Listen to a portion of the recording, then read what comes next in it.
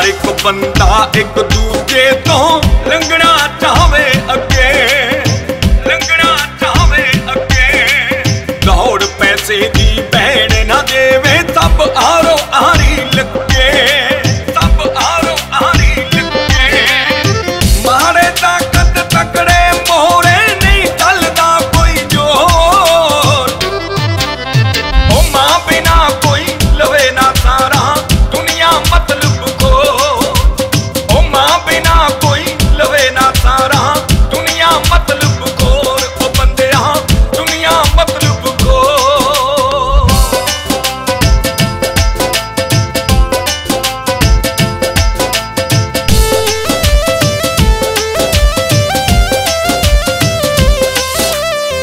ਨਸ਼ਿਆਂ ਦੇ ਦਰਿਆ ਦੇ ਵਿੱਚ ਅੱਜ ਰੁੜਦੇ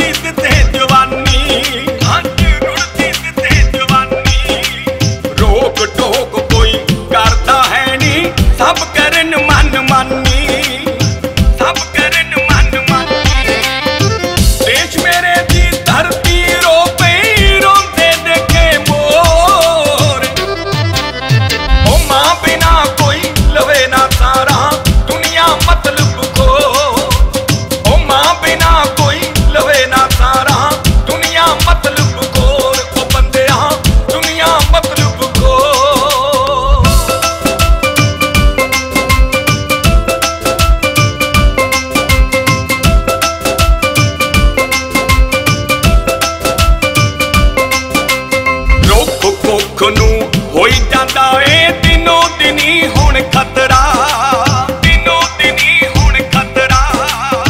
ਜੇ ਪਾਣੀ ਦੀ ਸਾਹ ਬਨ ਕੀਤੀ ਜਾਂ ਹੋ ਜੂ ਕਤਰਾ